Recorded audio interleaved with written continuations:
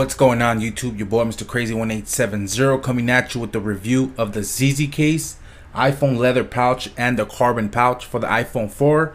Now, these two pouches are basically the same, the same style pouches. It's just basically this one is carbon and this one is leather. They both retail at $29.99 on ZZ Case website. I will have a link to the website in my video description. I'm sure to check that out. And when you order, uh, you know, one of these pouches in the box, uh, it includes two free screen protectors, one for the front, one for the back, and they also include a free cleaning cloth. So let's take a look at the actual. Uh, my, this is my favorite one right here. This is the one that I like the most because uh, this one is the leather and it's made out of. Um,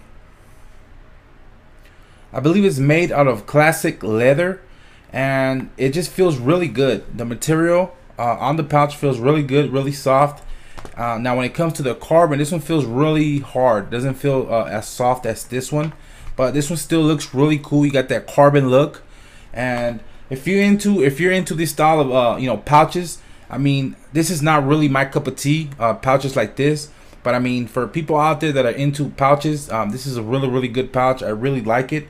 Now basically you just slide your phone in there like that, and you're done. As you guys can see, uh, it has a really really cool look to it, and uh, now, there's really not too much to go into detail about the actual pouch. Uh, a pouch is just a plain and simple. You know, you just, you know, you just slip your iPhone in, and to, you know, basically when you want to use it, you just slip it. You know, you slip it out and you use it.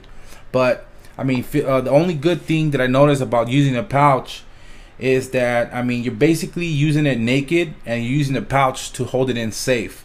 It feels really good in the pockets, no bulk, uh, anything like that. And when using it, I mean, I was using it eh, uh, at work with the actual pouch and my iPhone 4, and it, it, feels really good. It feels no bulk whatsoever. My pockets didn't feel heavy. So uh, other than that, really satisfied. Um, now, one of the bad things about using a pouch is that if you drop your phone, uh, your phone's gonna get hurt because you basically got no protection. But if you were to drop your phone with the pouch, uh, I mean, it's not gonna get all that. Uh, basically, if it just if you drop it like that, then it will probably get hurt on these edges.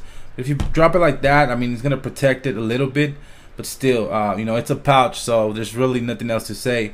So with that being said, guys, you want to go ahead and take a look at these actual pouches on ZZ Case website. Uh, I will have a link to that. Make sure to check that out also. And the retail price on these is $29.99. Uh, they're both uh, the same price. It's just they're both different styles.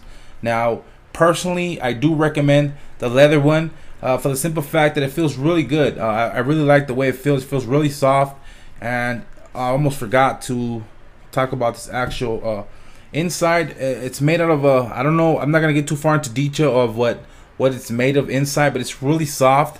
I would say it's not gonna scratch a phone just in case you're not using it with any type of protection on the screen on the back glass. So you're you know inside it's not gonna scratch or anything like that. So uh, feels really good, really soft in there, so you don't have to worry about that. A quick review of the ZZ Case leather pouch for the iPhone 4. Want to follow me on Twitter, twitter.com slash Mr. Krazy1870.